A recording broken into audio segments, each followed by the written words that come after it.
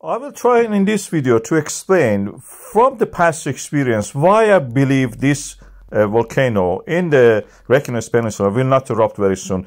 We start by the chart. This chart shows the tremors that are seismograms. This device will pick.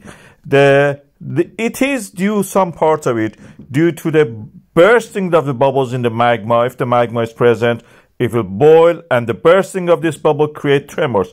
The purple line shows those uh, tremors. That shows the movement of the uh, magma. Also, we have tectonic uh, tremors, the blue line. These are the ones that opening up of the ground, lithosphere, the extension of it creates, it's like a zipper opening up. Uh, create these kind of tremors. They are just normal earthquakes. These normal earthquakes remove the pressure and the magma uh, will rise and start to boil. When the pressure is removed, it will boil. It's like opening a can of fizzy drink. Uh, so these volcanic earthquakes and tectonic earthquakes are uh, denoted by these uh, different colors, the purple one. We had in this Grindavik area from the 23rd of the November 2023, this pattern of the uh, every six hours deep in the tremors, especially tectonic tremors, the blue line. And after that, in a while, I mean, in the 18th of the December 2023, we had eruption. Almost three weeks between this and the eruption, we had the spike, just one spike in the Grindavik. At the moment, this is all I'm talking about the Grindavik seismogram. Melhóll that we have now, and it's more detailed because it's exactly on the top, doesn't show us what happened.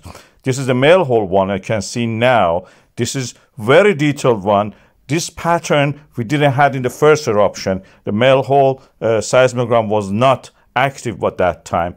And we had the eruption uh, before it.